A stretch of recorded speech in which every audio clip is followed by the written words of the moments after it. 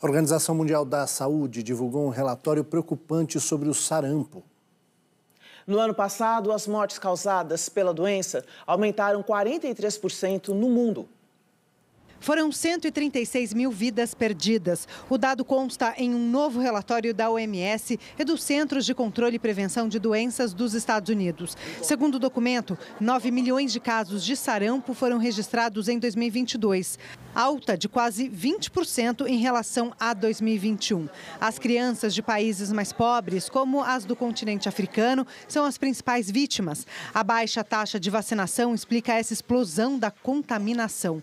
Atualmente, Atualmente, 35 milhões de crianças estão em risco de infecção porque não tomaram ou não completaram o esquema vacinal. Nós temos uh, desequilíbrios que vêm acontecendo, especialmente decorrentes de guerras, de grandes migrações que acontecem, sejam na Europa, pensando nas saídas de refugiados da Ucrânia para outras regiões da Europa, bem como hoje no conflito que nós estamos observando no Oriente Médio. O sarampo é uma infecção altamente contagiosa e transmitida de pessoa a pessoa ao tossir, espirrar ou falar.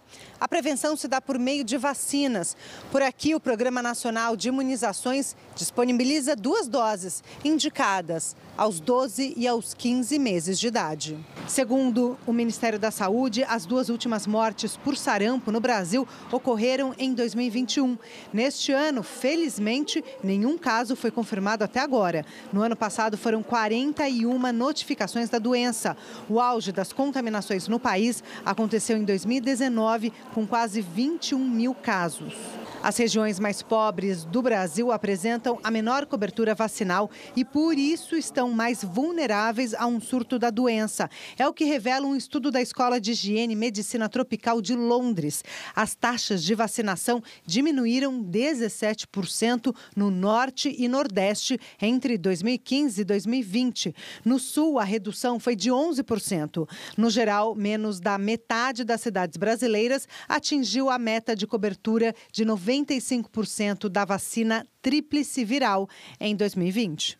Chegamos a 73, 75% de taxa de vacinação em muitos dos estados, portanto, nós estamos com níveis muito abaixo daqueles que são necessários para a proteção eh, dessa nossa população pediátrica. Então, dessa forma, associando-se uma baixa condição vacinal com taxas de uh, migração de pessoas que vêm de áreas em que não há vacinação e, portanto, existe uma circulação maior do vírus do sarampo, existe sim risco de nós voltarmos a ter casos de sarampo no nosso país.